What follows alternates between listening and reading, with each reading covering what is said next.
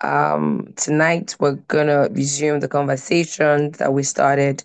Uh, for those of us that are not here, we started a conversation about salvation, what is, and just ways of you know understanding better. Um, Pastor Emmanuel, do you have any opening speech before we go on? So the, the way to make it work is, you know, we already started. Please send in your questions. Please don't wait.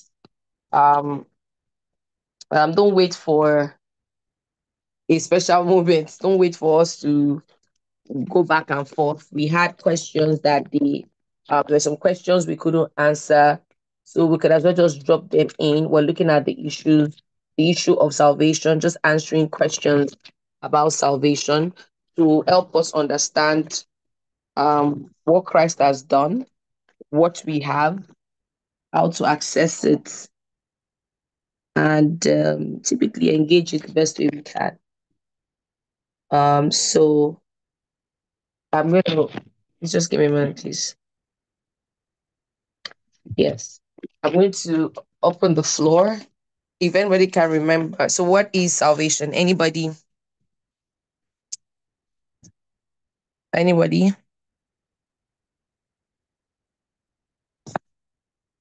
Anybody want to share what stood out to you? What do you know about salvation from what we learned? What what stood out to you? And then we'll pick it up from there. Over to you, um, Pastor Ima. Thank you, Ma. Um, I would say, um, I maybe the the interesting conversation first about how the topic started um, last week. That's one of the things that stood out to me. Um, and one of the things I, I I believe balance was brought. I like how um, the assurance of salvation was elevated or expanded upon. That God will not throw us away. God will not forsake us. God is always available to take us back.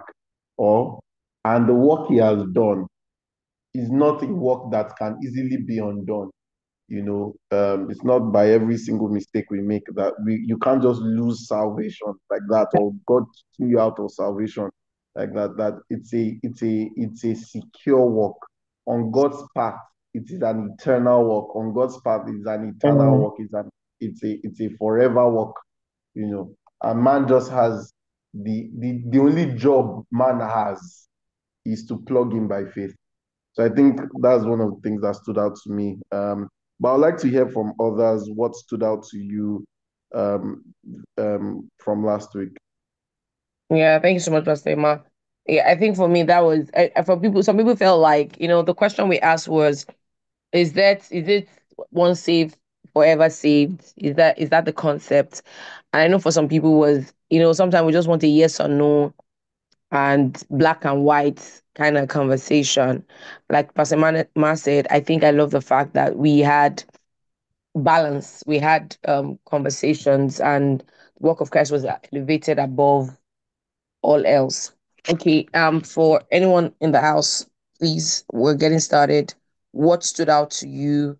Um, salvation is a gift given to us by God that we receive by believing that God sent His Son to die for us, and He was risen on the third day. Salvation is not something we get by our works or we constantly need to also for. It is done and is different from sanctification.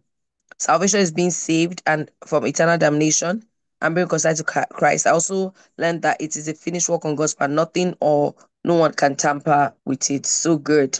Anybody else? So we can start training the questions. I know there were some questions we couldn't answer. We didn't have time to answer. Um, so we're going to start from where we stopped and then would please feeling um I love the way the scripture was used to explain itself.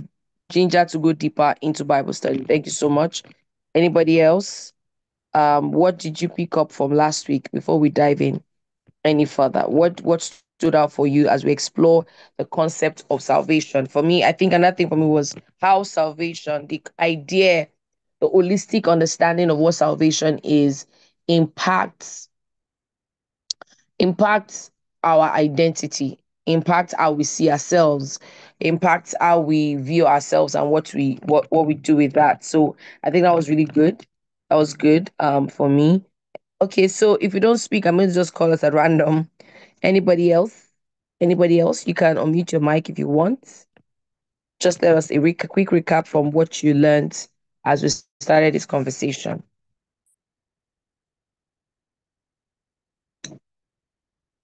Anybody else? Can you hear me? Okay, Claire, go ahead. Okay, so we also talked a little bit about, you know, the book of James and um whether James was saying it's about works or if it, you know, salvation can be maintained through our works or if it's just by faith. And, you know, we talked a little bit. And today I read, you know, the book and somehow I had more insights to understand that James was speaking towards the Christians who already had salvation and was saying that the our works should be evidence of our salvation. We can't just by mouth say that we are saved. There has to be evidence in our the ways we interact with people, the ways we interact with the world around us. We need to show the fruits that we we say that we have. And in that time, they said that um, they would usually use about three years to really gauge a person after the person says that they've received Christ to gauge the person's character, the person's business, how the person, whether the person is a trouble causer or not, to really say if this person is truly a Christian. So it's not just in the one second that they said, "Oh, I'm Christian." Um, so I learned that truly, um, we use scripture to gauge scripture. We don't just isolate certain scriptures and say, "Oh, this is mm. what Bible said about one thing." We actually have to look into the history. Who was this person talking to? Who? What was this about? To be able to truly understand scripture when we read it. Yeah. Thank you so much.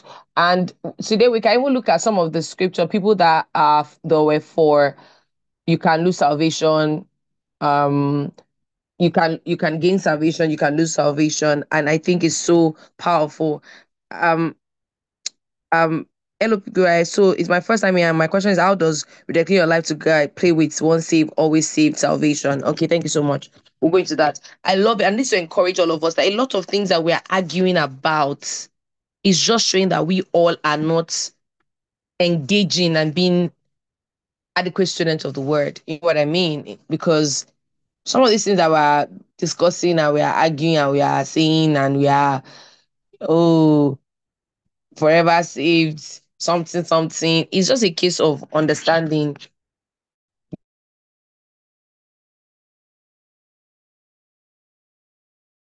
using scripture to explain scripture.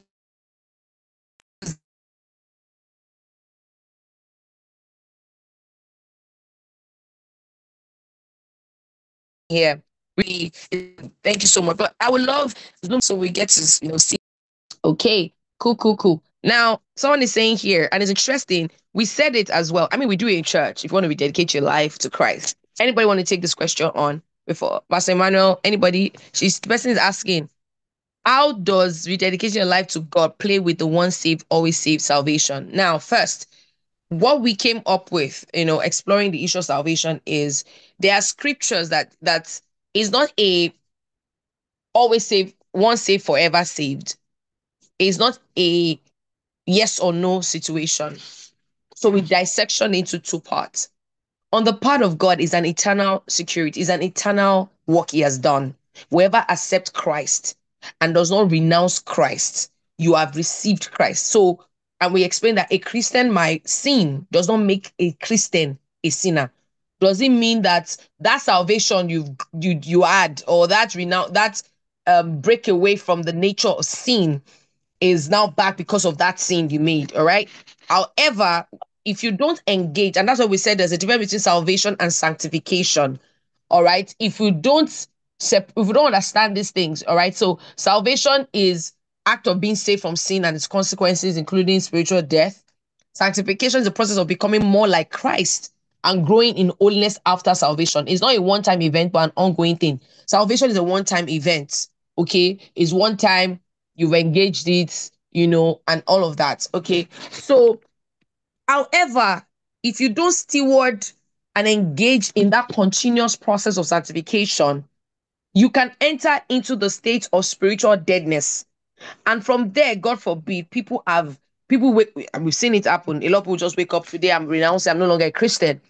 On that ground, did we agree that a person comes to renounce him from being a Christian, saying that Christ, I don't believe in Christ, I don't believe in what Christ has done? Please, the question is: Is the person still saved? If I can go on to this question, a person that renounces his faith and say, I'm no longer a Christian. I don't believe in the Christian practice. We saw a lot of that in the last two, three years. People that have written great books, people that have done ministry, pastors, all manner of things. Thank you, Holy Spirit. Now, all right, let's go. So the question is, is that person still saved? Anybody want to go?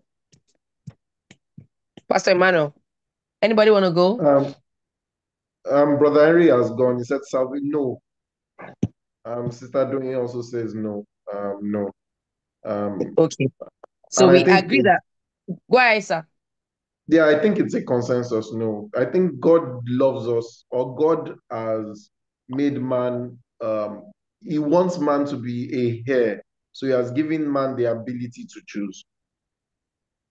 No matter how beautiful the choice is, God wants us to choose Him you know, so. Okay. Thank you so much. So we've agreed. So based on that, if we then come to church and say, is it a, if you want to rededicate your life to Christ? So I think, like I said, looking at it though scripturally, anybody, what does that mean?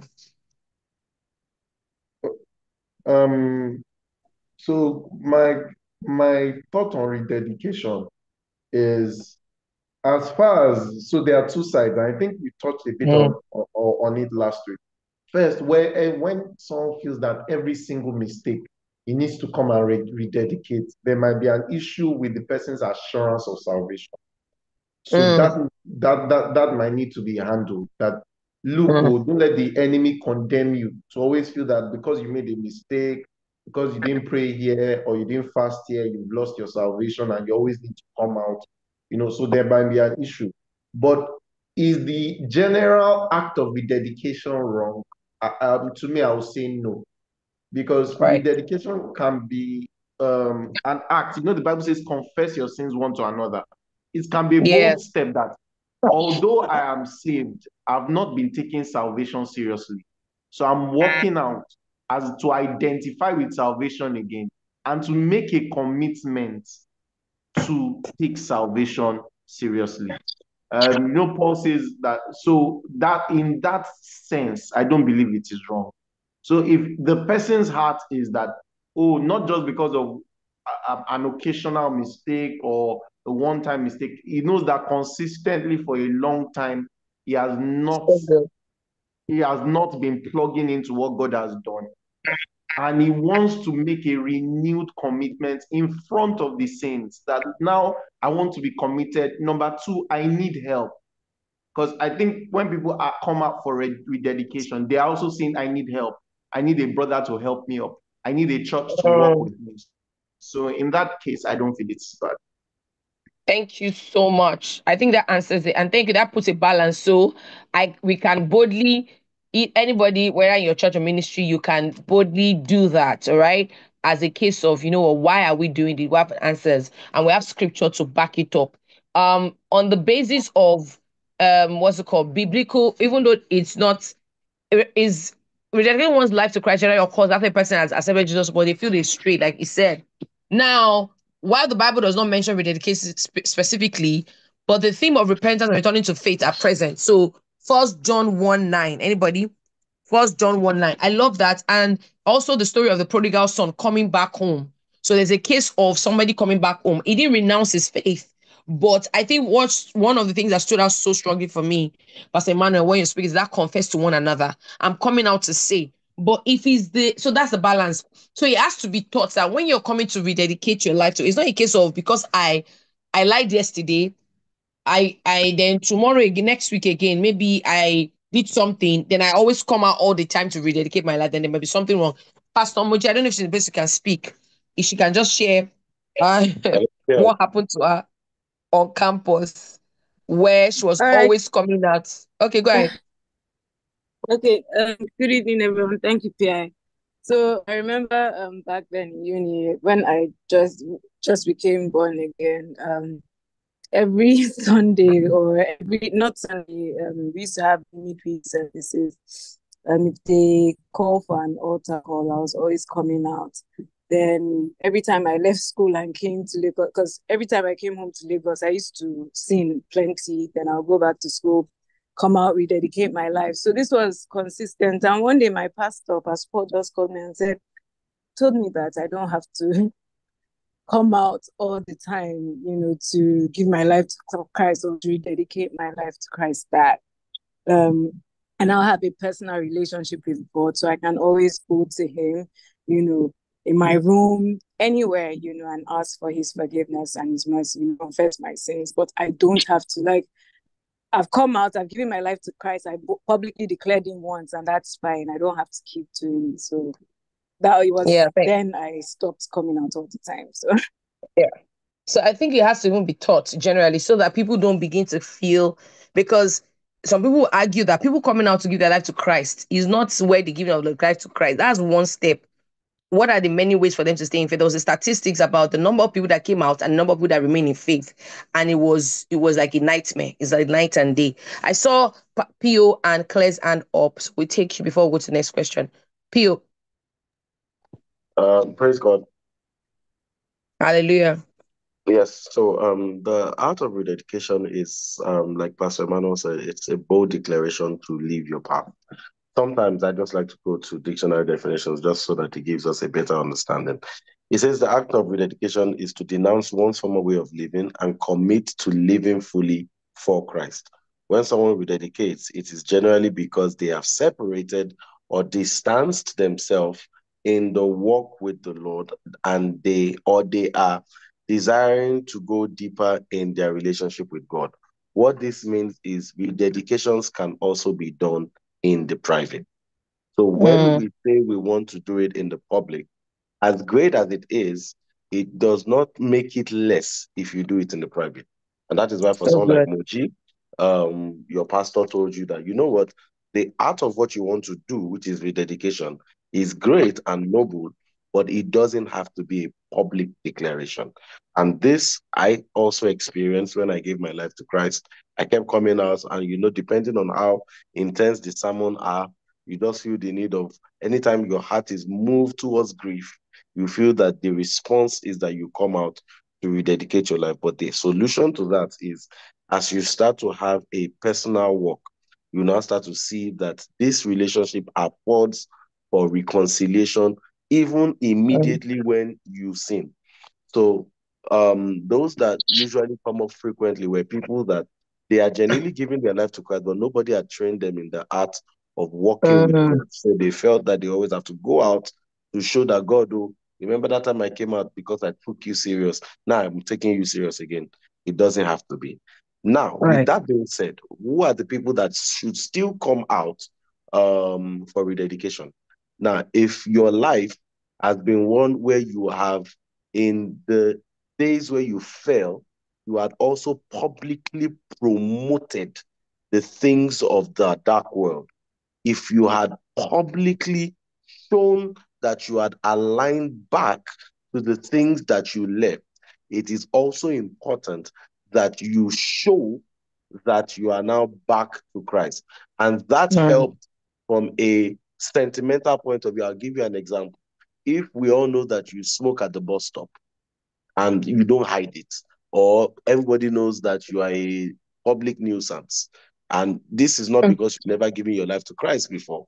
If you want to rededicate, it's often advisable that you also come out so that you are also telling people that you have taken a new stance. While you can do wow. it in the private, and it will not be a bad idea and it will be accepted by God, Doing it in the public also alerts your environment that you have taken a bold step for God and that they should expect a change in your outcome or in your behavior. All right. Um, thank you so much. Somebody said I was born in a Christian home and did things of God, and I didn't have an understanding. I love God, but didn't have a relationship. Later on, I had a better understanding. I rededicated my life. Rededication is okay. So now, what we have done is this what we do that we are used to doing religiously. I'm sure before, if they've asked some people, they say, hey, we just rededicate now. Sometimes it sounds like it's for lack of, oh, if you don't come out to give your life to Christ, oh, yeah, rededicate us. Where are you? So there's a reason for it. Like what Pio said is so profound. For those that are coming out to boldly, you know, like, you know what, I am renouncing um things like you might not see it in scripture, like it said, but you can see it in First John 1 9. That you can see the theme. You can see the theme in prodigal son coming back to the father. He didn't, he didn't come quietly. He came publicly, and the father publicly also celebrated him back. You get what I mean? You know, and there's that part of confessing to one another. So um, that's as I believe we've done justice to that question. Now, any other question?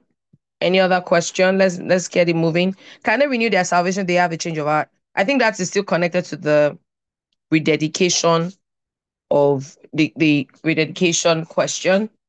Okay, or if, if it's not, please can you um explain further? Any other question, anyone? Basema, over to you. Is there anything on your heart as regards what you said before we, we move on again? I have a question. I, I think All right, there's please a, one more question. She said, Is there a room for mercy for those who commit blasphemy? Okay. Hmm. Diana Basema. Okay. Um, let's go to that scripture. So we, because I think it's from a scripture. Um, if the, if if you sin against the Holy Spirit, um, let, let me see if I can find that scripture. Just Okay. sorry. But uh, um, I think it's um just a second. Uh, Matthew Matthew 12. 12, 31, 32, and Mark 3, 29. Okay, so let me let me read it out.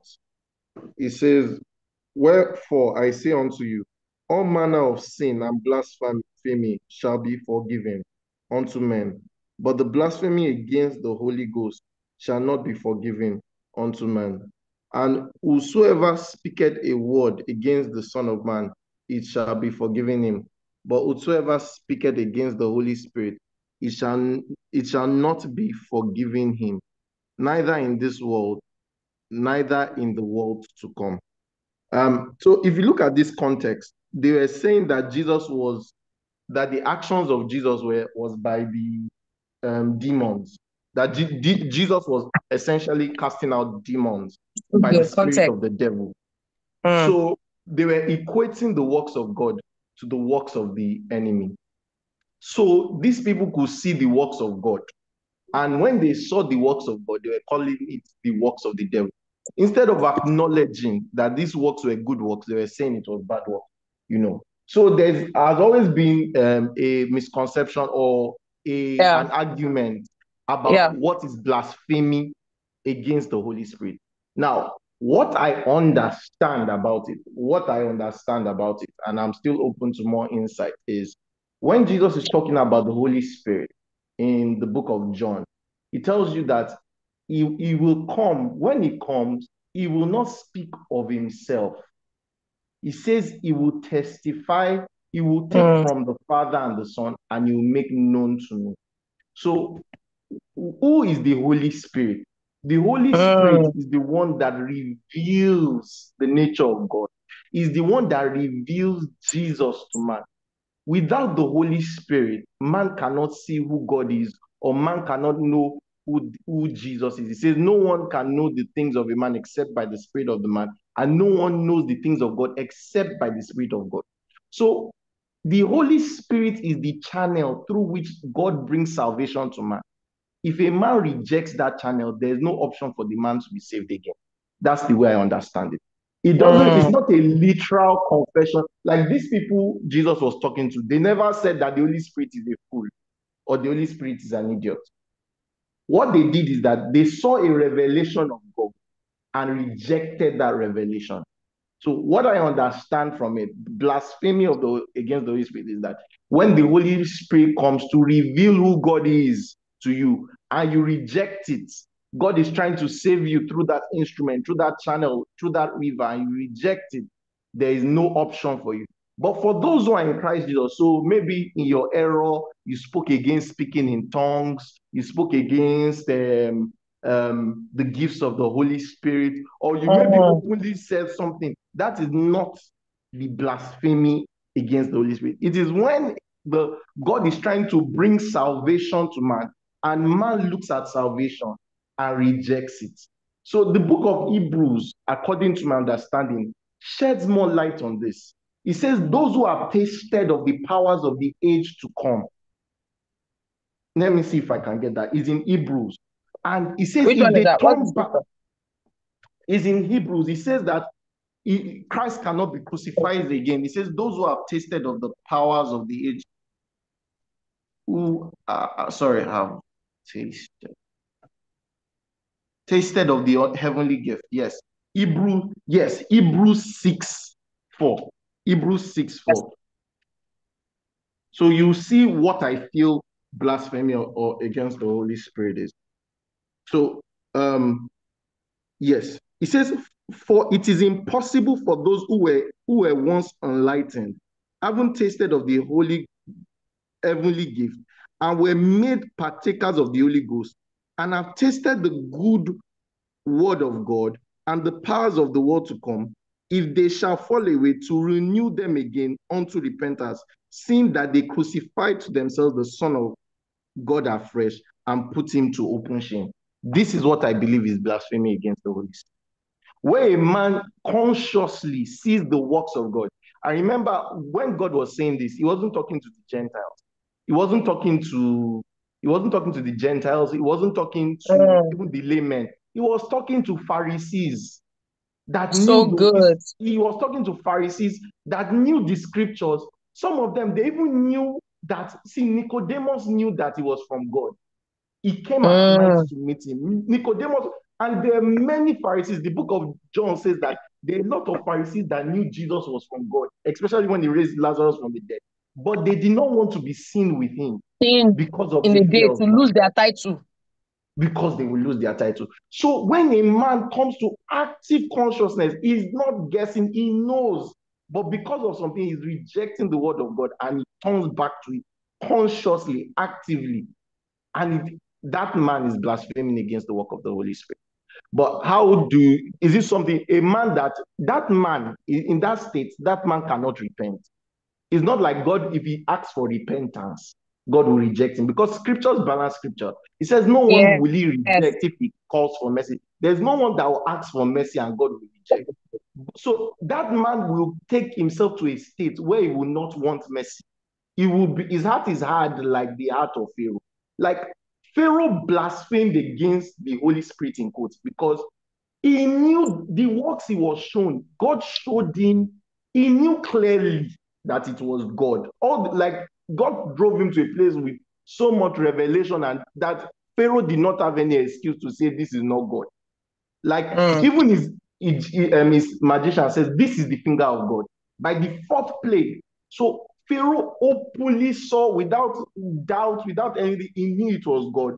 But he, he, he had gotten to a state that he could not repent. He has gotten to a state of blasphemy. That man cannot um, repent. So that's what I Thank believe. you so much. Thank you so much. Another example could be um like again, there are a lot of theological, you're right, debate about it. Um, some people based on their doctrine believe, oh, you can't be. But again, I always believe use scripture to read scripture. When you said context was very important. Who was it speaking to? What was the context? They saw what Christ was doing, and ju- same way, right? However, you know what is interesting is that God, the the overarching theme of scripture, the love of God, the grace of God. So if you use that to interpret, now if you look at Paul, Paul, he could have seen, Paul believed what he was doing was God. He was how these people are against god but see he was saved. Now if you come to our present days there were people that were muslims. I, I saw a video of a man that he, he he he felt he killed a guy they stoned him and left him to die because they said it's their they were raised to hate believers that you are all infidels that they were this thing cannot be of god even though there's a part of the quran that said xyz what am i saying but some of these guys were eventually saved and they come to faith so it shows us that it, but again, the idea is that there's a place that the light will come. Will you respond to it? The light will come. Will you respond to it? But when a believer deliberately, like Pastor Emmanuel said, they were Pharisees. you can see clearly that this is God. And sometimes what happened is jealousy. If you look at the Pharisees, they were jealous, jealousy, envy, control, re- created a refusal that that is of God. And sometimes, if that is the case, you are blaspheming against the Holy Spirit and you have put yourself again as an enemy of the Spirit of God. But I believe that repentance can, oh, like God does not desire that any man perishes. That is an overarching truth. So it's just that what will you do with that? It will keep, you know, light, illumination, things keep coming to you. What will you do with it? That we have scriptures all, all later through scriptures that people that we don't think they deserve mercy, that they came back. Later through look at look at Nebuchadnezzar when he was turned to an animal and he came, you know, just different human beings and even our present day people that have done crazy things killed people done all manner of things and they still came to faith. So we see that scripture can always balance itself. Thank you so much for that. Um i see pos and and then aka. Yeah, so maybe Aka can speak. Um, all right cool. Oh yeah aka um aka go ahead. Thank you, Ma. Thank you, everybody. Um, what past everything that Pastor Emmanuel said was just amazing. Um, really, really, really deep insight. Um, but for me, I mean, um, I would like to say add that you know from the book that I read from Kenneth Hagin, and I know some people ask these questions because of also fear that they may have fallen into the same. Maybe they've done this and don't know, but you know, um, one of the things that Kenneth Hagin said was, you know, assuring us that for us to even be in that place where we're asking, have I, have I not? It means you have not. You know, um, whenever people sing this scene, it they they do it with their whole chest. They are aware, like you know. And he said in his entire fifty something, sixty something years of ministry, only saw two people that it happened to. Um, apart from people who, you know, have a revelation of God, it's people essentially who have an experience, a relationship with God, and then wholeheartedly turn their back on God and say, you know what? Mm. The woman who was born again, she fell off. They were trying to still save her and win her back. And he was praying for her. One day he went into a hotel room where she was with someone and, and she was taking drugs. And he called her and said, Jesus loves you. And she said, To hell with that man called Jesus. Mm. And that was when the Holy Spirit told him, It's done. Like it can't happen anymore. You know, so she knew God. She was born again, you know. And it, I feel like also, even there are some times when we hear of people that just decidedly choose, they know there is God, there is Satan. They've now chosen, you know what? I choose to go with Satan. I prefer to have money on this earth and live my life and then at the end go to hell. I don't mind. Those are people who have actually turned their back on the Holy Spirit, like Pastor Emmanuel said, the Holy Spirit reveals Jesus to us. When people have had an experience of Jesus and it's now say, you know what, I don't want again. And, this is not people who backslid or went into sinning and they are finding it hard to keep up. No, they just said, this Christian walk, I don't even want to do religion anymore. I don't want, I, I don't want to enter holies of holies anymore. Yeah. Sure. Thank you so much. I would like to add that and let's quickly answer this and we'll go on. What do you think lead people to that space? It doesn't happen overnight. What do you think lead people to like there was this guy, apparently I didn't read the book. I heard that there are um people who there's this particular popular marriage. I think the five love language, I don't even know. There's this popular relationship guy for decades that came out last year or two years ago to renounce his faith that he's no longer Christian. And we see a lot of that happening. Harris. What did you say? Is it Joshua Harris? I, I don't know his name, but I know he's a very popular. And just give an example of people like that that they've he done they've done some great stuff and they come out and they don't one not two and all of those things. What do we think? Is Joshua Harris? Okay, thank you, sir. What do we think? Um, um, well, somebody was saying that that video clear. That is it possible we're doing it for optics as well? Because now we don't even know which one is which one now. Because when people see camera, they say anything and they do anything. But but that was also an example. They said they didn't know that there's heaven because you see that's where the work our work is. But what do we think gets people to that point? I would dare say number one is disappointment that then can lead to resentment fueled by unrealistic or misplaced expectations. And that is my concern for every gospel that takes an aspect of the gospel to make the full gospel. So come to Jesus, all your problem go away. Pray Ada, and um, you get more money. Do this, do that. That is my concern for those kind of thing because uh, there was a lady that lost her baby or she had a miscarriage and she was quoting some of these popular sayings that we say and she said they be i've been joining this place. We've been praying the same thing. What about me? And that's another kettle of fish. But anybody want to ask that? That is why as a church when we get on to the place of joy we're going to identify the the little foxes. If you don't deal with the issue of disappointment expose it to the truth of God, offense, but really majorly disappointed and not being rooted and grounded in the word. Matthew 13, that when the word comes, it just lands on the surface. There's no root. And the way you know is root is issues will expose you. And it, God forbid you are now even blinded, you don't see. So you see, disappointment, uh, misplaced expectation of what God has said what God has said to me, what somebody has prophesied to me, um, and it creates resentment. It has a way. Or the worst one, when your gifts are your drivers and not the word of God. Let me explain. There are people, their gifts made them extended them beyond their level of capacity. So they are giftings, they are so, they are prophetic, they are great authors, they are writing, they are speakers, and they are going everywhere speaking. Because I saw a video recently too of a number of people that are in the Christian something um music in the West. And a lot of them are always talking about and one is releasing book, you know, when I was getting my loudest ovation was when I was having the kidney called lowest. And I said somebody, it's almost like a pattern where almost I said that, oh, you know, when you go out there, and someone said to me, This is an issue of roots. Are you rooted? Because some people get the gift, place them on, on platforms, places that are not prepared for or they're not rooted for. So it exposes them, and then before you know it, they are all the manner, all manner of things are attached to them. Another thing is lost. You're right, lost. So an example is there are certain people that what they wanted was Grammys. They love music so much. They love music more than God. Guess what?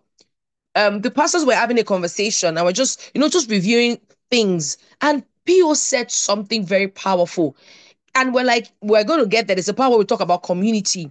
Is that if you love community more than Christ, guess what? You will pick community over Christ when push comes to shove. Anything you love more than Christ. So as much as we're a community church, we want you community, yeah.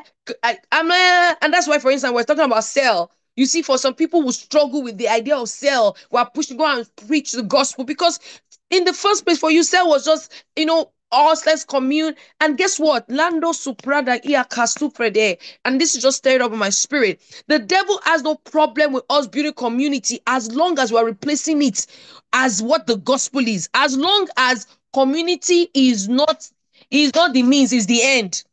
So the devil, so for some of us, it's community. Some people is outreach, and that's why some people get angry and say the church is not a social gospel. So some people is just about charity. Keep doing it as long you are not preaching the gospel, you are not engaging in sanctification. Salvation is at the burner, it's not on the burner, it's at the back end. So what happened is those things, if that is what it is, when life comes, you realize that you probably really did not know God or have a deep root and all. I just thought it was important to bring out that people don't just now just come and renounce Christ overnight. Some things have been happening in their hearts. Things have been shifting. Things has been happening. All right.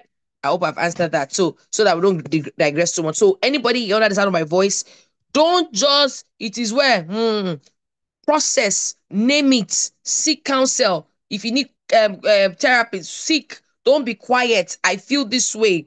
You know, I, you know, keep having conversations with God. Stay in the word. Declare the truth of God's word over your reality.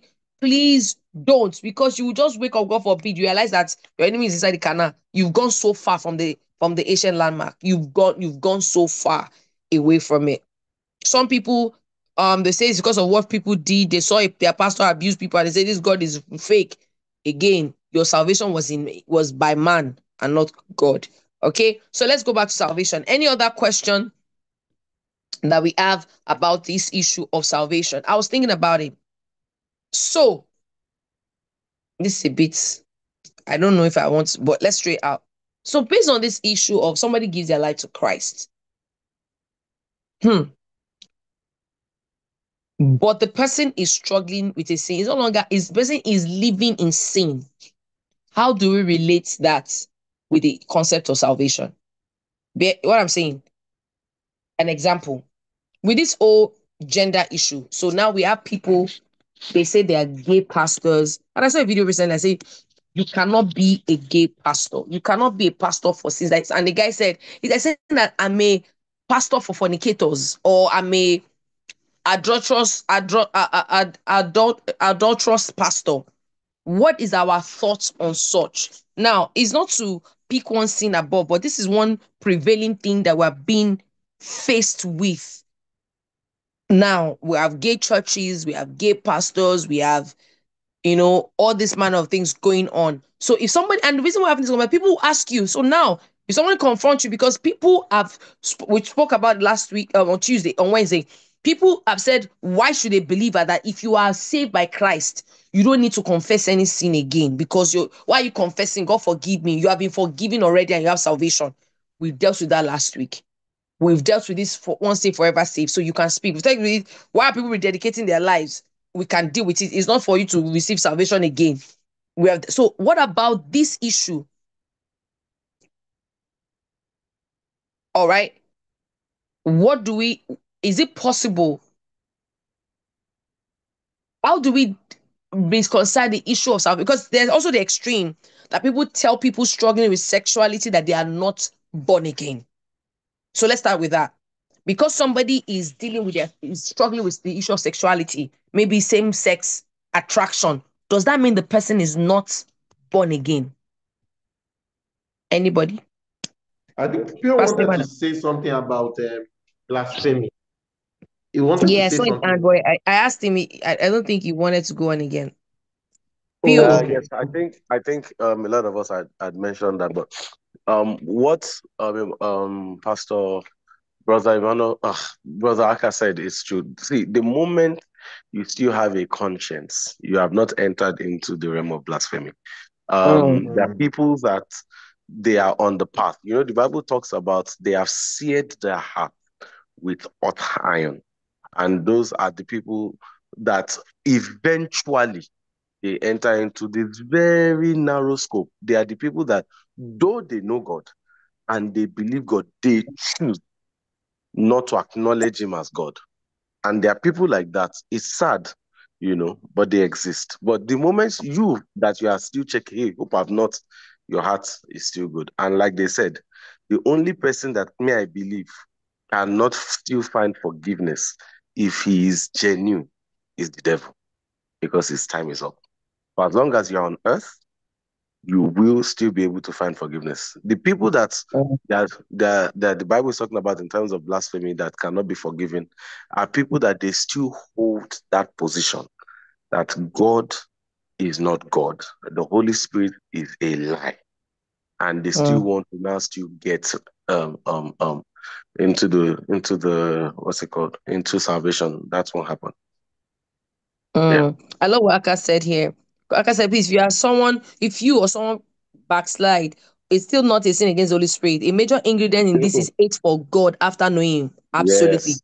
If you don't hate God, you are recover you are recoverable always, and only one percent of Christians in the world fall into this. It's extremely, extremely rare. Hold your assurance in your hand. So good. Hold your as and also God does not desire for anyone to go to hell. It's not made for humans.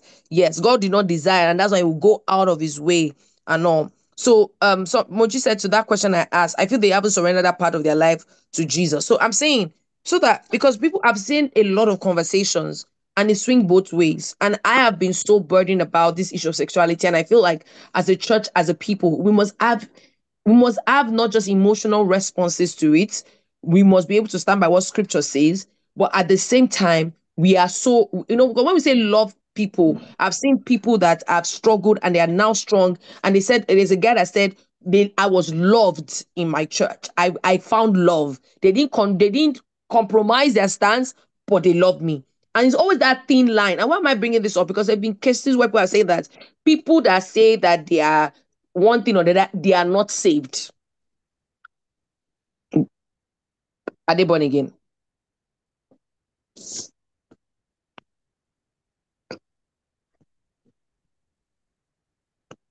I know it's a tough one. Aka, go ahead. Sorry, come again. I didn't even get the question. Sorry. no, I'm saying that for those that are saying, I saw a video of saying I'm a gay pastor, I'm a trans pastor, whatever, you know, you know, that all those things. And the guy is saying that we can't create a ministry and pastorship for sins. I saying that I'm a I'm a he said is I saying I'm a fornicator, I'm a fornicating pastor. That will you will you will you be okay with that? So where that is that on one I'm hand. What do you say? Yeah, you, it's it's a bit of an oxymoron. You you can't you mm. can't have Christ and also say that you do not acknowledge the things that Christ has said he doesn't stand for. It's it's part of the hybridness that God does not endorse. Yes, God loves them. They can read the Bible. They can actually have a strong command of the knowledge of the Bible. For but you see, for as long as the Bible is not in totality for them, they cannot say. Because a pastor believes in the totality of scripture. If you cannot believe in totality of scripture, then it, it, it puts your pastorship to a close. Because if somebody brings you there, what are you going to say about that part of the scripture? Oh, it's archaic. Oh, new revelation says that no homosexuals are mm.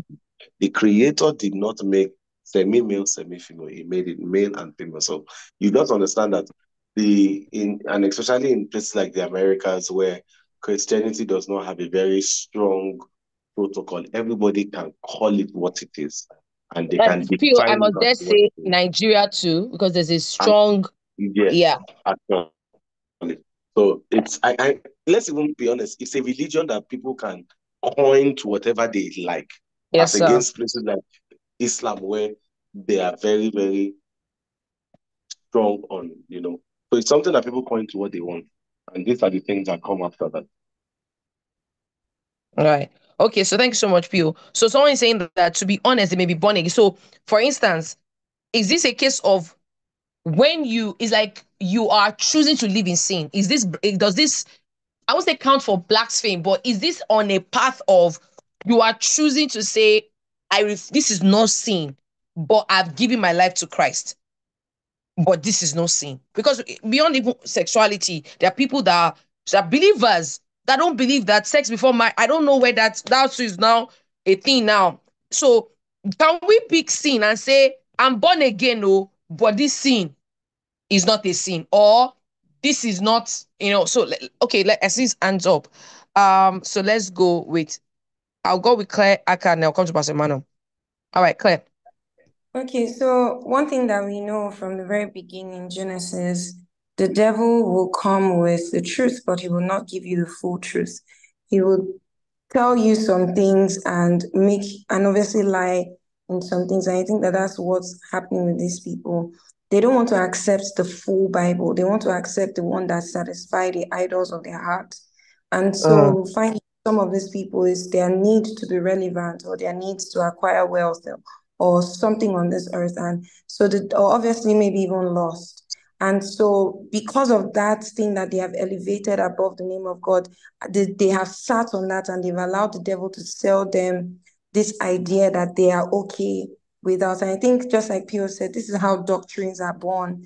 You find people mm. that isolate themselves away from the from the church or isolate themselves from the truth from the bible and they select certain things when we were in Rhema, they taught us about different doctrines, you know, um, the, um, what's it called? Origin.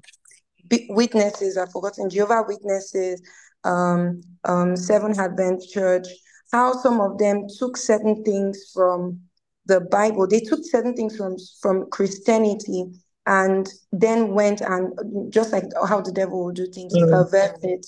And so I think that this is just a reflection of One of it. Mm. yeah. Right, right. Okay. Okay. All right. Because one of the things we saw is that you can't really come into salvation. You can't you you you are saved. Sal- salvation and sanctification are like different sides of a coin, right? Though you are saved. I have a very important question someone just asked, and I'll ask it. But let's go to um Aka, Pastor Emmanuel, and then yeah. Thank you, PI. Um, I'd like to say this that moment. Square, sorry. yes, to address issues like this, I think that it's a very, very important thing for people to realize and for us to understand that most people accept salvation and are cool with the sal- with the concept of salvation as security, but not salvation as identity. And that's where we fall into problems like Hold on, hold on. Almost like so that I don't go to hell. Since you said that all I need to go to heaven is to be saved. Yes. But Um, salvation is also an identity, an identity badge. It is identity. You Um, cannot take the name of God and put it in your own terms. It's either you take his name. For example, my wife, she took my name under the terms of the governing law. There is a law. There is a way to change that process. You can't just say, so she cannot say she's Nani Alfredo. No, you can't add anything to my name, to the name Nani.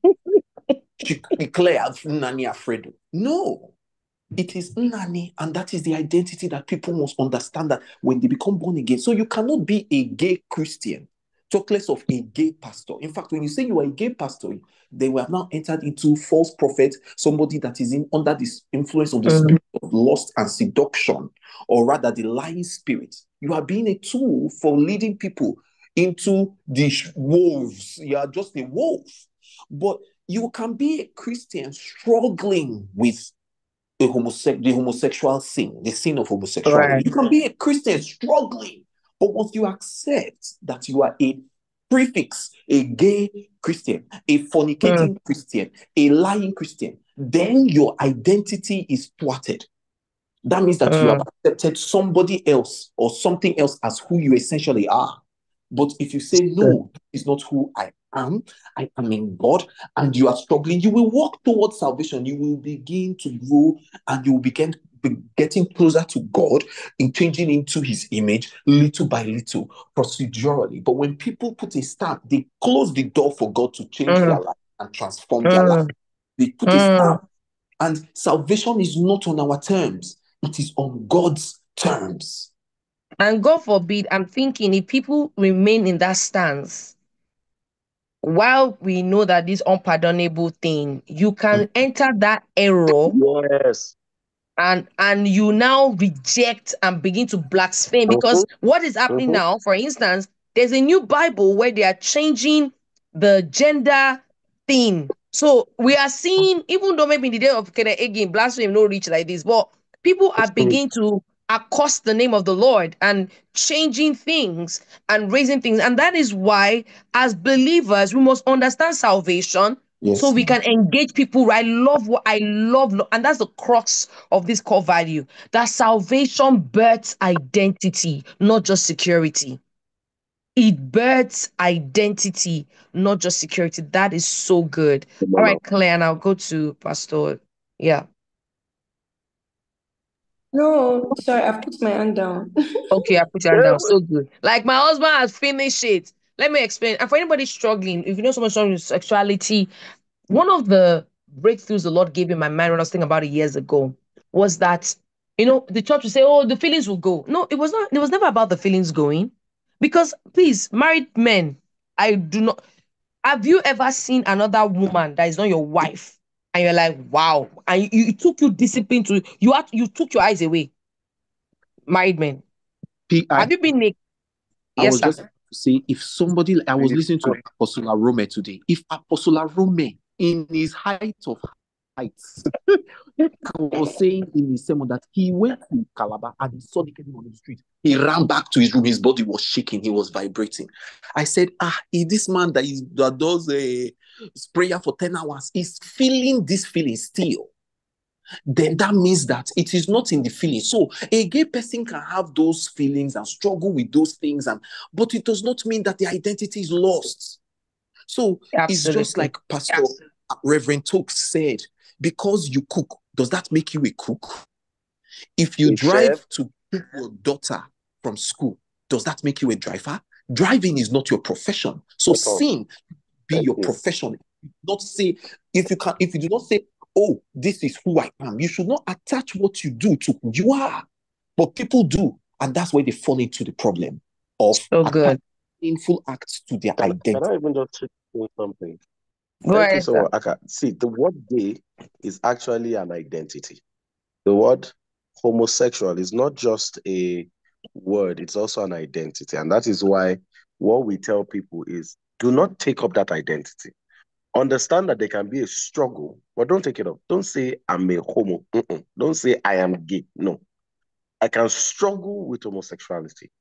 I might struggle with the lust of, of same-sex partner.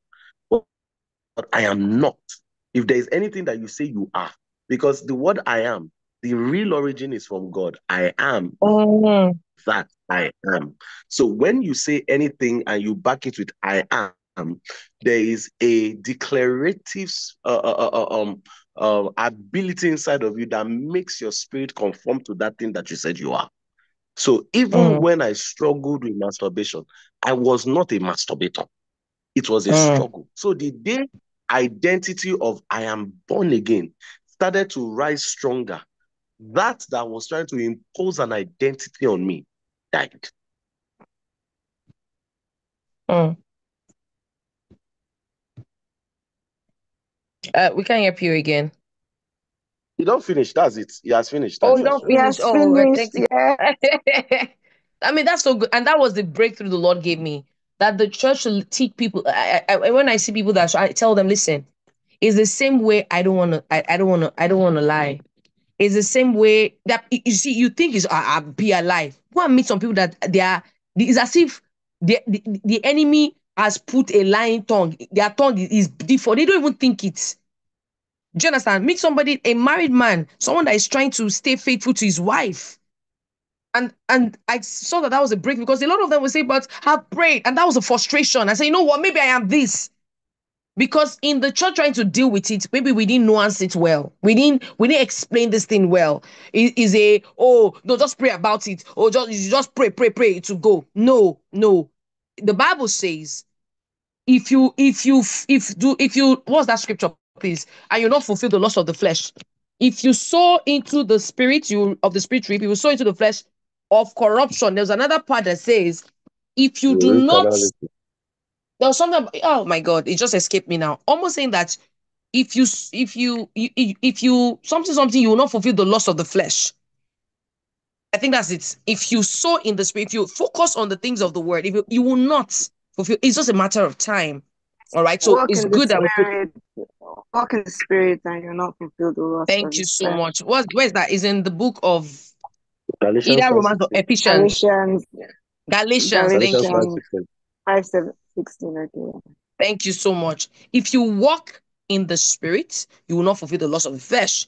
If you walk in flesh, my darling, this spirit and body will forever be at they will be at war. I've seen people say they can never forgive. You don't understand what unforgiveness is to some people. Is their birthright. God forbid. It's not their birthright. Some people they they rather I've seen somebody. I was in a place and person said, I will not greet that person. I I thought it was a joke. And that's sin, you know. So, anyways, now somebody is asking here as we proceed. So, Wes, are we saying that please the only criteria? I have a question. Is salvation all we need to make heaven? Can we be guaranteed that we will make heavens, uh, heavens, sorry, heaven once we are saved? Pastor Emmanuel, everybody. Yes. Yes. Yes. Yes. Okay. So that is the answer. That is so. A- again, that's why some people are angry that people are religious teachers because some growing up we hear stuff like if you it's almost like salvation and something you can't just be saved alone to you you save alone to go. How many of you remember that eh, analogy of you are Ayaka super you you are born again, then you're not seeing rapture not take place? How many remember that analogy? That's Mhm. hell straight. So I think that be created part of the anxiety for people about heaven. That hey, because I've always wondered, are you saying that all this while that I've lived and ah, I born again, I've lived, and maybe that time done something, God help you, a salesman in the, in the presence of his customer. Now I went to go and ginger and say one thing, trumpet sound. Are you saying that hell? but thanks be to God that that's not the case. Hallelujah. All right, Claire. I also wanted to add that there was also the time where, you know, people would give their own revelation of visions of heaven, where they'll say, oh, one woman was going to heaven, she had attachments on, and so she did not make it. One woman, she did make up. so or uh, you're wearing earrings. So all those things just really honestly made people feel like, what can we actually even do to make this heaven? So It's too good. So good. Now that we understand sorry. salvation, I will... okay, go ahead, sir. Just wanted to add something also. Um, like when you look at the parable of the talents in Matthew 25, the last servant was afraid of judgment. And I think I've said it before. The reason why he buried his talent was to escape judgment. Yeah. That was if if that it was that, and unfortunately, the bearing of his talent in um attracted the judgment. judgment that he wasn't afraid that he was afraid of. So it's about a man thinking of just wanting to escape hell. A man that is in a state of just wanting to escape hell is not in a good place. The Bible says in the book of John, it says that there is no more fear in judgment. He that is perfect in love would, it says, I don't know how to quote it exactly, but it says that he that has been perfected in love will not fear judgment because as he is, so are we. So what I'm just trying to say is there's also a danger of a man constantly living under fear because living under the fear of going to hell is not a healthy state for a believer. So That's good. not God. The Bible says in Hebrews chapter 2, it says that he came to free us from the fear of death. So when a man is living under the fear of going to hellfire, he's living under bondage. That's one of the things I'll say. Then, Mm. secondly, I don't know, this is just my thought. Secondly, the truth of the matter is people say that when men die, that the the man will go to hell, then Satan will just be using knife to be choking him. I went to hell and I saw Satan choking knife to be using knife to be. You know that there's nowhere in scriptures that says that. Just FYI. Yes, sir. Most people got it from a play written by an unbeliever, Dante's allegory about the seven layers of hell. There's no part in heaven that says that eh? if- when a man goes to you see. Man, I don't expose them. Oh. He, he says, he says, he I says remember. that I will be crying, crying. Or is it possible from the parable of the of the rich man and Lazarus? Yeah, No, no, probably. but that It's was not- the sin No, that's not it. demons that were tormenting It's Lazarus. true. Yeah. The hell is created to torment the devil, not that the enemy will be the torment- tormentor. Hell, Come on. lake of fire, Yeah. Is to punish the enemy. Not that, but that's just my, I don't know. I've not seen, but like, I've not seen, I'm, I'm still open to rev, to more revelation, but I've not seen, seen it scripturally of that place that demons will be beaten. I'm, I know hell is a place of torment, but the torment I know is by God and his angels, not by the demons. So I don't know. So Thank that, you so much. Hell is a place where the Bible says that there will be weeping and gnashing of teeth. Um, also, to not even go into another dimension, because then you want to ask yourself if our physical bodies are the things that are most combustible. What is the extent of fire to a soul? And that's why the Bible was talking about you get into a lake of fire, but the real pain is the weeping and I mean is the is the weeping, not weeping And like it's separation from God. Yeah. Exactly. And Eternal gnashing of the separation from God. eternal separation, guys, you don't know what that feels like. you can never know. The moment where everything around you says there is no hope. Oh, you everything around you says oh. there is no hope in continuum, no ray of hope, no ray of light.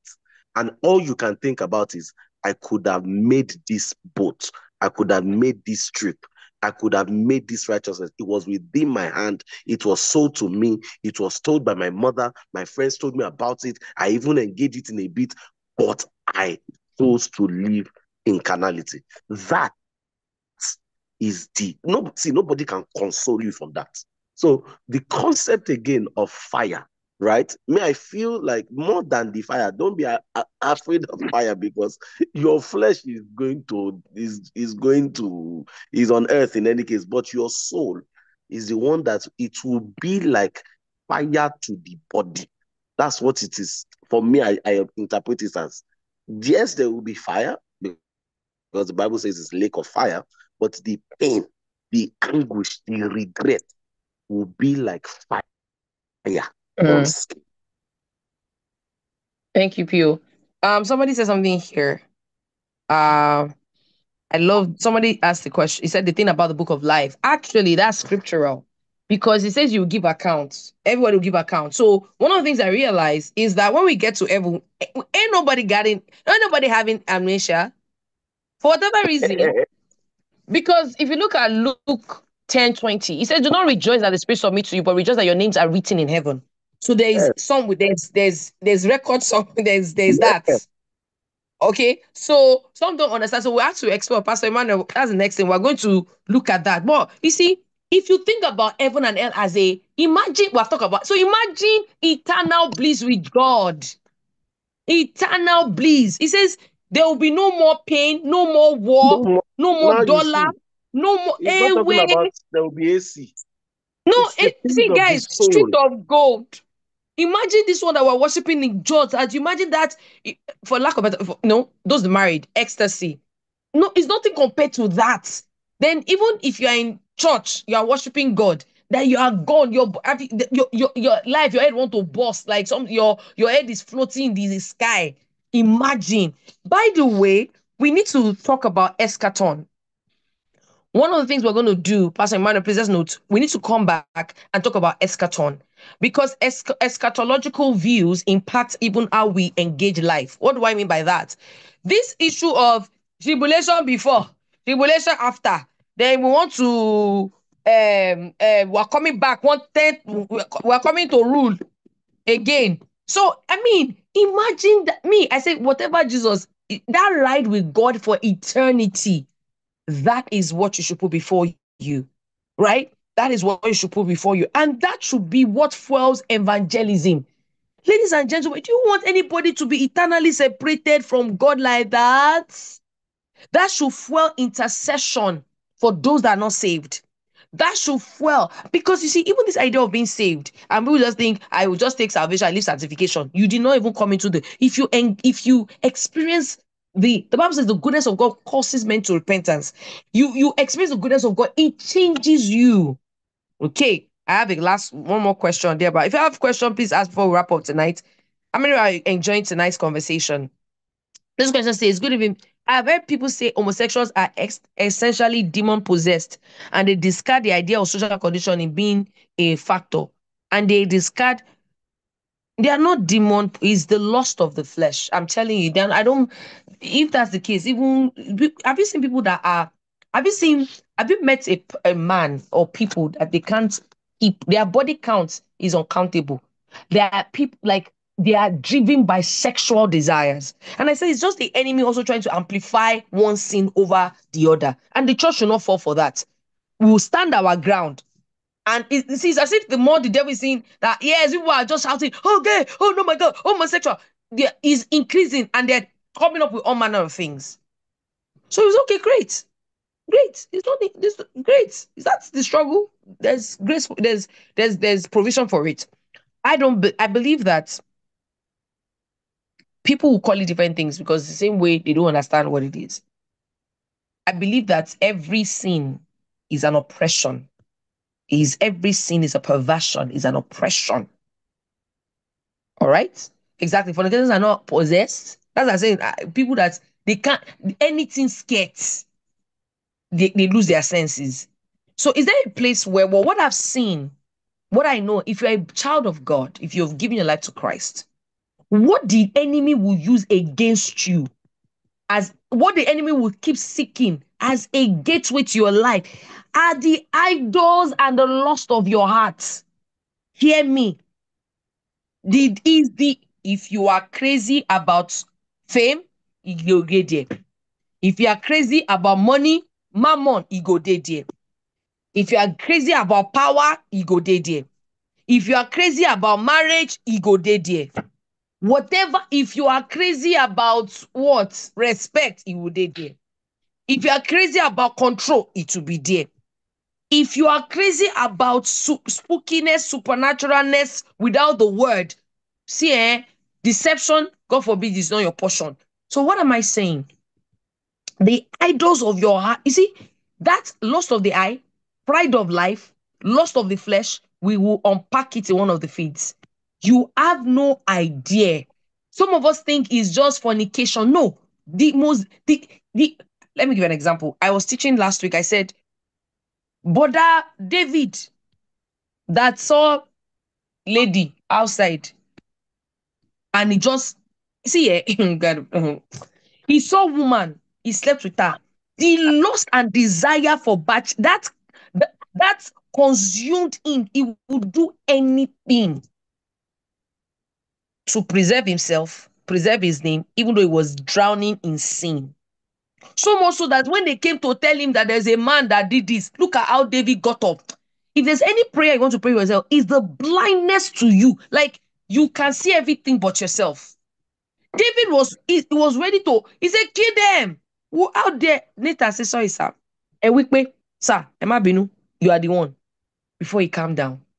What am I saying? So none of these guys is perversion.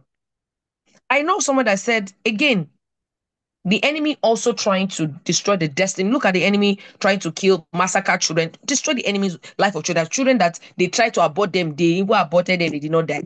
So there are all manner of things. The devil's just you don't, forget, he will always try to bruise, he will always be looking at going after the seed of a woman. Why I bring up? Someone shared with me about how the entire family, you know how people you- they say you look at a child growing up and be saying, ah, you don't just behave like a girl. It's not as a girl, though or begin to use what as a boy, yo, and some funny things. I was speaking into the identity of a child.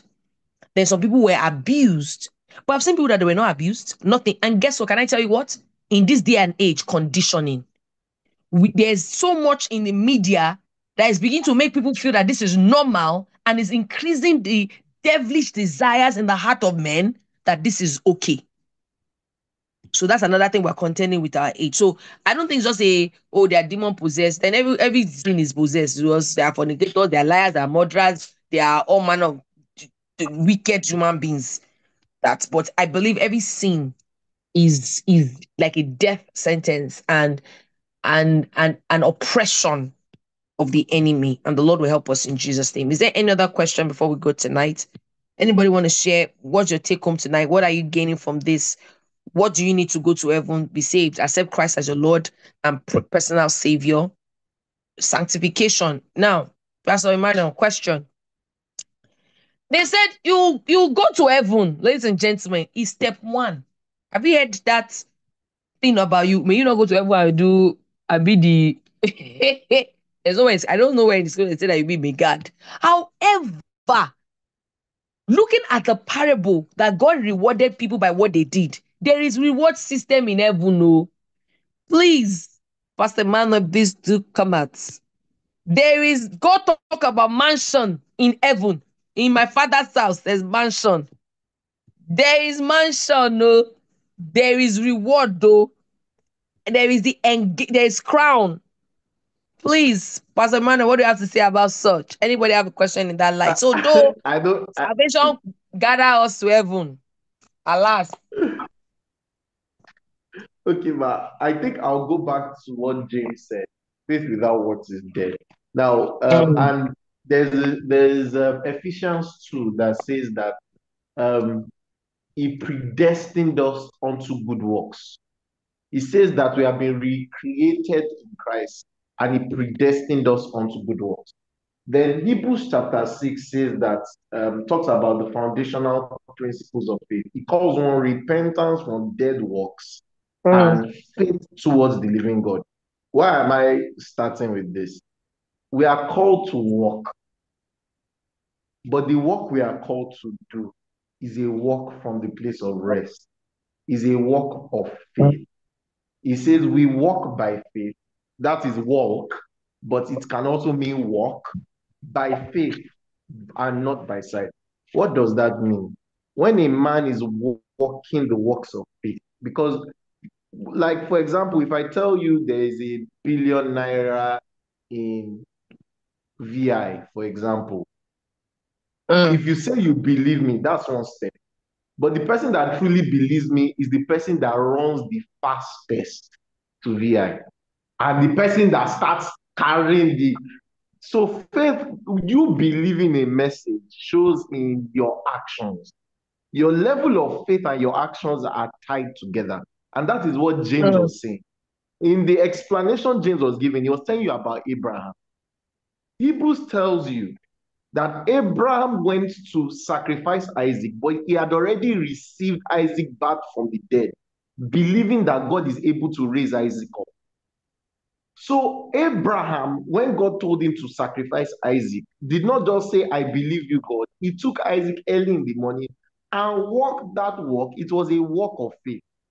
So Mm. it is on that basis that reward is given. So even though Abraham, the father of faith, who believed in God that un- justified the ungodly, there were certain things he did based on that belief. One of the things he did was that he left his father's house. One of the things he did is that he lived in tents. One of the things he did is that he circumcised his children.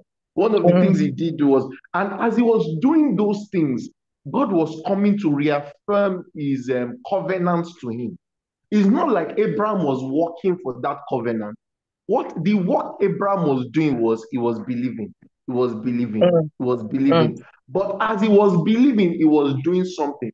It was those Yes. things he was doing as a result of his belief that he was rewarded for. So so That good. also how we will be rewarded when we get to heaven. The things we do based on what we based on how we believe or when and it will show. So some people might leave jobs because they believe something. Some people might go to places because they believe something. Some people might reject some things because they believe something. Some people might, you know, another thing Abraham did is that he refused the reward of Sodom. He says, Lest Mm. Sodom say they made me rich. I will not take even a shula. So some people will reject some things. And as they are doing those things, works of faith, they will be rewarded. Mm. They will be rewarded. I, and I just believe in it. That so it's based on their faith in the salvation of God, their faith in the Lord Jesus Christ. And as they are Mm. exercising that faith, it will show by their action. Based on those things, they will be rewarded. So I, I just hope that brings a bit of clarity. Thank you so much. So there is a word. God says that we see it in the parable. We see, and it is not, and remember, he's a just God. Is he is giving according to I love how Pastor Dami said it. He's not rewarding according to what you think you is according to the measure. Uh, it's not God is not judging us or asking us for account based on just you know that will make it unfair to a lot of people you know but it's according to the measure that is given unto us so that is why i believe that there is reward for even sanctification in the sense that the reward for is not just in heaven. Even from here the level of intimacy you enjoy the ability to understand what salvation has offered to maximize it you know to know how many of you have paid for a premium of a thing, but you only use a part of it because you didn't really understand it? You didn't read the full, you didn't read the manual. You know, the discipline of reading the manual, all these things that we're signing up, we just say, I agree, I agree, I agree. And that's why I say you sh- shout that they're selling your they're selling your data, but you agree to them selling your data and all the cookies you're accepting. You know, so you see that process of reading the manual, that process of engaging is what we can liken to sanctification, meaning your daily growth to be more like Christ and to know him and be with him. I hope that answered the question. Aka will take you. Any other question before we go tonight?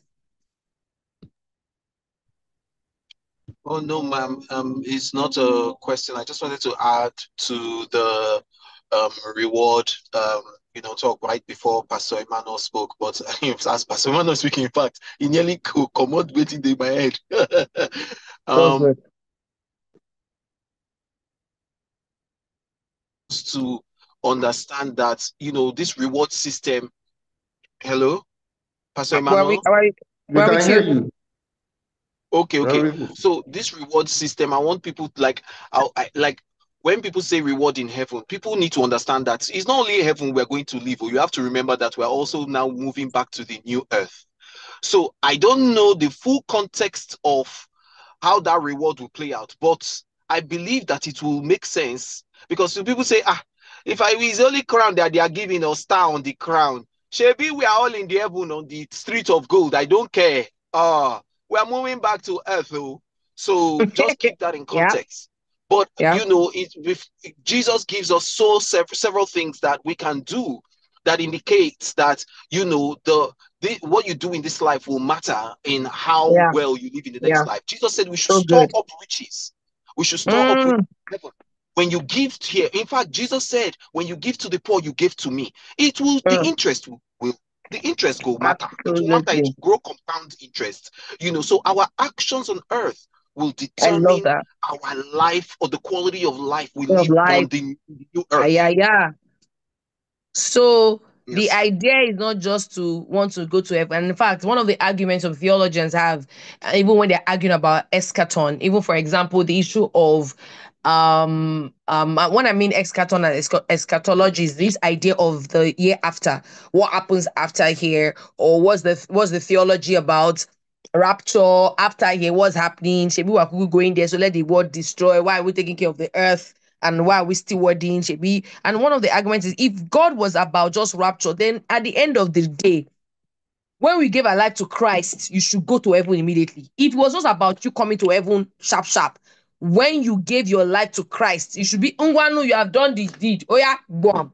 Why are we still here? One, to evangelize so, so that the, the mandate of Genesis 1 can be fulfilled, replenish the earth. God is and guys, Bible is interesting. Let me give an assignment to us whenever we have this conversation again by the grace of God. If you go and read the book of Revelations, I want to believe Revelations. Let me get the exact one. You will see, you know, somebody was like, hey, eh, wait you see that there's is there another temptation for those of us that come back say, we'll look at it. Who is he really talking about? But there is a rule.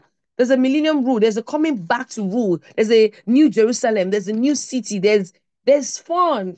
Things about to get really fun and exciting, you know. So there's a lot more. So even the heaven when, when we think that we're just going to sit there, well, well, let me just cross my leg and walk on the street of gold, you know. And again, the good thing is that these things we will, we know in part. It will continue to unveil. I'm not I'm I'm not one that want to just you know break my head and finish everything because of I want to just be able to say this is what it is. I'm open to learn.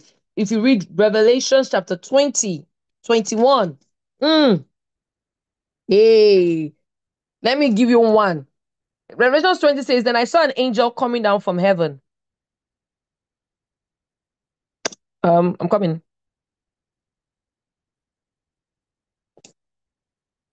I saw an angel coming down from heaven with the key to the bottomless pit, a heavy chain in his hand. He seized the dragon, the old serpent, who is the devil, Satan, and bound him in chains for ten, a thousand years. Said they go release him again. bound him for a thousand years.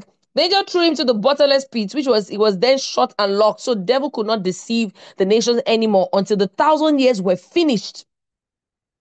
After a thousand years, afterwards, he must be released for a little while. Again, then I saw thrones and the people sitting on them had been given the authority to judge. So you can go on and on to read. See, listen, man. At the end of the day, that's why for me, I want to where Jesus is is where I want to be. I just want to pursue, get to know Him, grow, give your life to Christ, and get His certification. But that thing Aka said is so true. It's scripture. The Bible says, "Store up treasures." Let's see exactly the scripture, and we'll wrap up with this. Um, if there's any other question, please put it in. How many of you are blessed by this? Show with smileys and what you're gaining. Uh,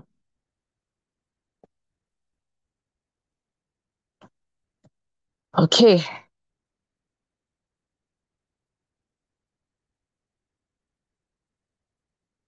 he said, do not, Matthew 6, 19, 21. Do not store up treasure for yourself on earth where moth and vermin destroy and where thieves break in. But store up treasure for yourself in heaven where moth and vermin do not destroy and where thieves do not break in. Let me use Passion's translation to read this. What does this show you, ladies and gentlemen? Store up treasure. Why will they tell you to store up treasure? There's something about how you live here. And this is where it balances out this grace message of it doesn't matter what you do. It's just about Christ has paid the price. Yes, he has. And I'm like, are we seeing it that a lot of people are even working a bit? I remember in a bit to correct errors. Sometimes we create more errors. People create more errors because sometimes the bit to create errors coming from a bitter place and disgruntled place, and sometimes anger and sometimes bitterness, sometimes church hurt, and sometimes lack of understanding. I watched this video by Pastor Mensa. He said some of the things people are shouting, wow, Rhema, is some errors that a generation has discarded. Some people go again, dig it up, bring it back, and it sounds like new revelation. Know your Bible. Revelation 6 19.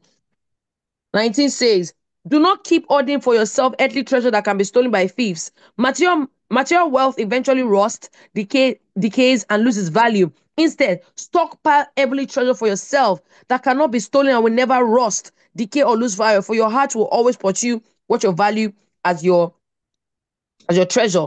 Now, if you look at it, Every treasure are eternal realities, such as loving others, doing good, revealing truth, bringing Christ to the lost. None of this treasure can be stolen or ever lose their value.